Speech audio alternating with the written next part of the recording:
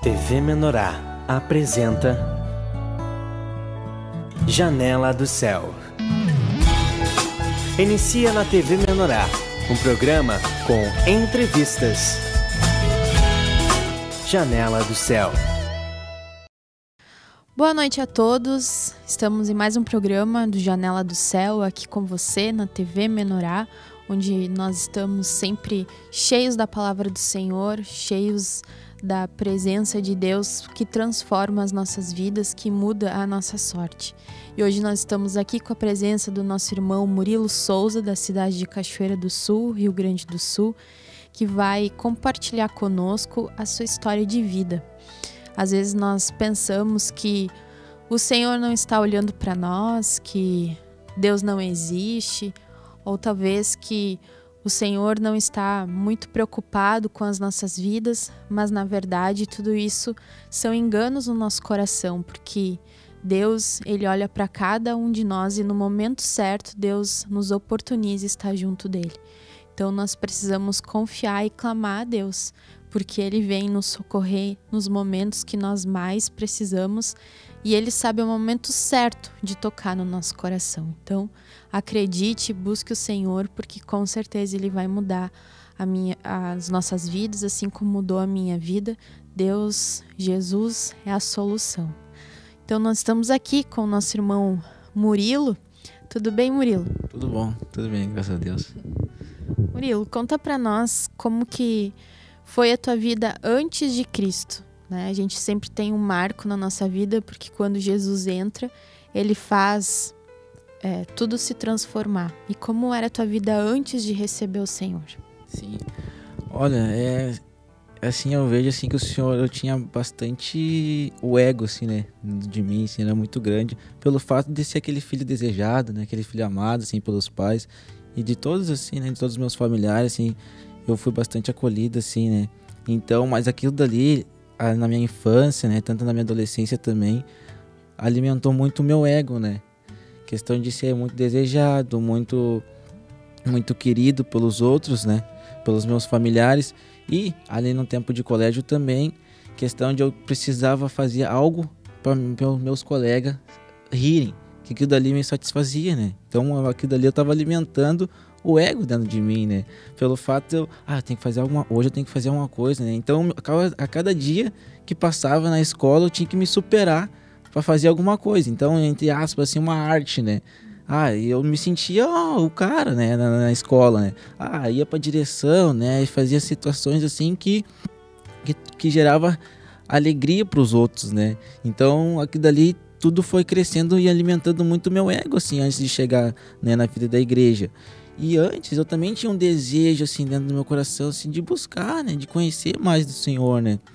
E mais eu eu via assim que eu ia em outras denominações com a minha mãe, que a gente ia, e eu sentia que dali que era uma coisa muito estranha assim, né? Eu, eu sentia assim uma coisa que é agora, né? Eu tenho a revelação que era uma religiosidade, né?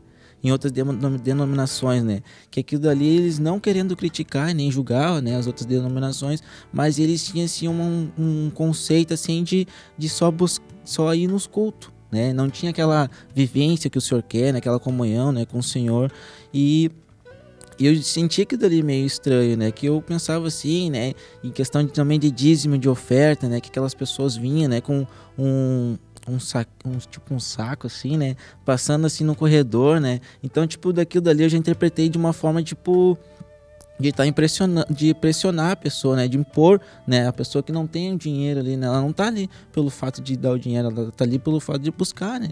O dinheiro é tudo uma consequência, o dízimo é uma oferta, né? Através da tua comunhão, da busca do Senhor. E aquilo dali tudo eu, mas eu sempre sentia um desejo de buscar o Senhor, de conhecer mesmo da palavra do Senhor, né?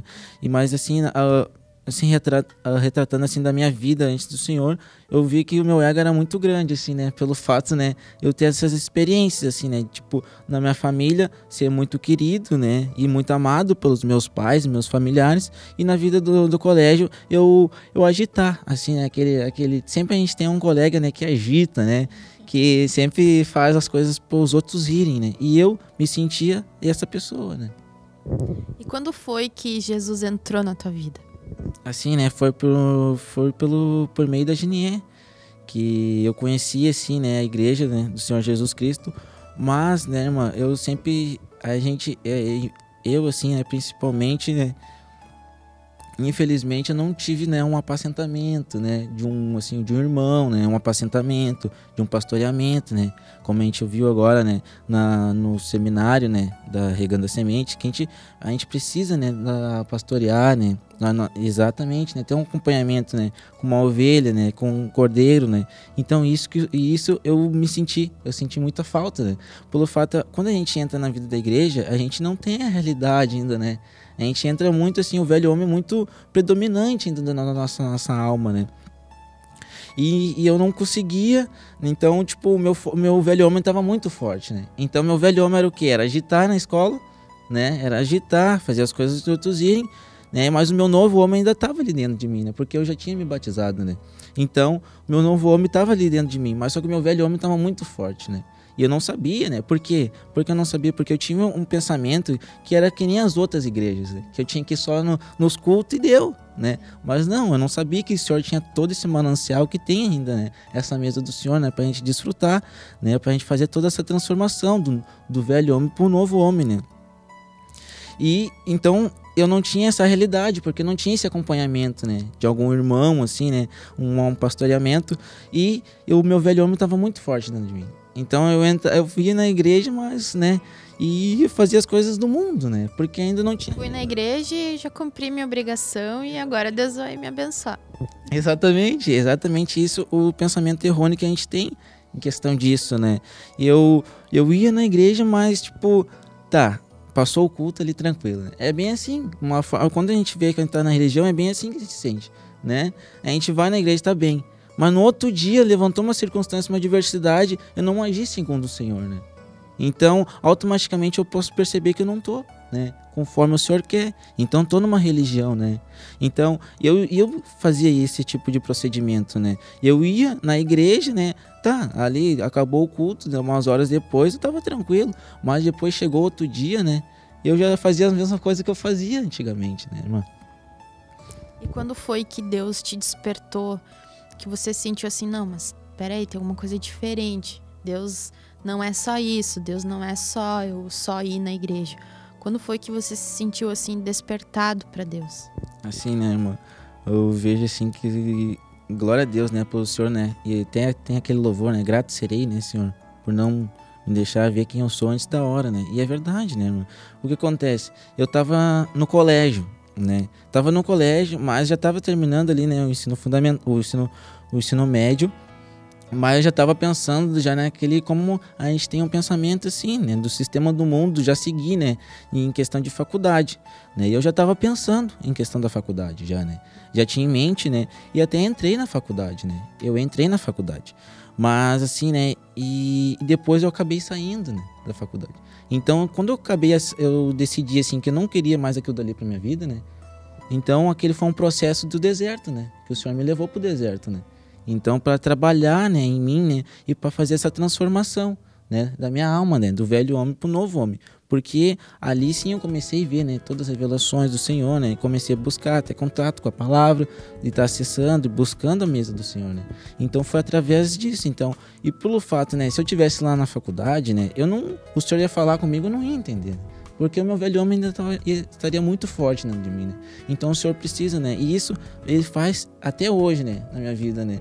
Ele às vezes, ele, eu tô no deserto, mas às vezes ele me dá um, um pouco ali de Canaã, né? Que eu possa desfrutar um pouco, né? Das bênçãos do Senhor. Mas depois ele me traz pro deserto, já, já é para trabalhar em, em cima de mim, né? Então a questão assim, eu não tava se eu tivesse, né, no, na faculdade, eu não ia conseguir ouvir o Senhor, né? Então o Senhor precisa trazer, né, fazer todo esse processo, nos levar, né, pro deserto para né, a gente consiga, ele consiga falar no nosso coração, né? Sentiu que Deus uh, deixou você um período para você buscar mais Ele, que talvez se você estivesse na faculdade não ia conseguir se envolver com outras coisas. Com certeza, é verdade, né? E isso o Senhor faz isso, né? Hoje, né? A gente tem um desejo, o Senhor, ele vai ele com certeza ele vai conceder aquele desejo que a gente tem, né? Mas através da nossa, da nossa obediência, né? Isso testifica com Mateus 6,33, né? O Senhor diz, né? Então, primeiro a gente tem que buscar o Senhor, né? Depois o Senhor vai nos, nos acrescentar as coisas, né? E isso o Senhor faz e fez isso comigo. Então, ele, ele nos proporcionou muitas coisas, mas depois ele me trouxe, né? Para essa realidade, né? Que eu tinha que estar tá buscando o Senhor, que a igreja do Senhor, né? Não é uma como eu, eu antes eu ia, né? Quando antes eu frequentava e congregava. A igreja do Senhor, o Senhor, claro que tem os cultos, né? Mas o culto é tudo uma consequência, né? Da nossa, nossa comunhão, nosso congregar com nossos irmãos, né? E mas antes, depois, né? Depois tem um depois também, né? Que a gente tem que estar tá sempre vigiando. Muitas vezes eu também tinha um pensamento, pô, eu vou no culto, mas depois eu tô brigando, né? Eu, tinha, eu recebi uma benção do Senhor, eu tenho que estar tá vigiando, né? Para mim estar tá ruminando em cima daquilo dali que eu, eu recebi no culto, né? E quando foi o momento assim que você sentiu vontade de ir além do culto, né? Porque antes você só frequentava o culto. Mas você sentiu vontade de ah, eu vou escutar a escola do reino, ou eu vou pegar um livro para mim ler, vou me alimentar um pouquinho mais, não vou só só frequentar? Quando foi que você sentiu assim? Foi aos poucos? Foi alguém que te falou? Como que foi? Não, né, irmã? Foi aos poucos mesmo, né? Que o senhor diz ainda, né? Até assisti uma vez uma ministração que a gente tem uma a parte assim do espírito, né? Que é, é dividido, né? Em três partes: a fase do espírito, intuição, consciência e comunhão, se eu não me engano, né? Então tudo, né? A comunhão vai depois brotando, né? Porque o espírito do Senhor está dentro de ti, né? né? Então, é, depois eu fui acessando, né? Depois eu fui descobrindo, né, que essa mesa assim é muito farta, né? E tinha um manancial assim de vida, né? E antes eu não sabia, né? E assim eu comecei a desfrutar da escola do reino, dos materiais, né, da, do, do pão de Judá, né. Então tudo foi tudo uma consequência, né, tudo aos poucos, né. Mas depois ele precisou, né, o Senhor precisou fazer esse processo, né, me levar para o deserto, né, para falar, né, no meu coração, né. Deus e Deus faz isso conosco mesmo, porque sabe que a nossa atenção vai estar tá muito dividida, vai ter muita é, atividade, vai ter muita confusão. Então Deus, não, vou te separar um pouquinho, né? A, a, te deixar longe do, do movimento para que você possa buscar o Senhor. E às vezes Deus faz, às vezes a gente até não entende, se revolta, porque que Deus fecha coisas para nós, abre outras coisas e a gente não entende, mas Deus com certeza está falando conosco, né? Assim como Deus preparou Davi, por exemplo, deixou ele longe da família, longe das atividades e deixou ele lá cuidando das ovelhas.